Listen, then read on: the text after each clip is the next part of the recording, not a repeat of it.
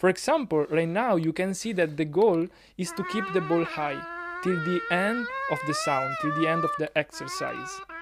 But there are other kind of spirometers. So for example, this one, you can see that the goal is to maintain a constant air volume during inhalation, just like you are seeing now, both inhalation and also then exhalation.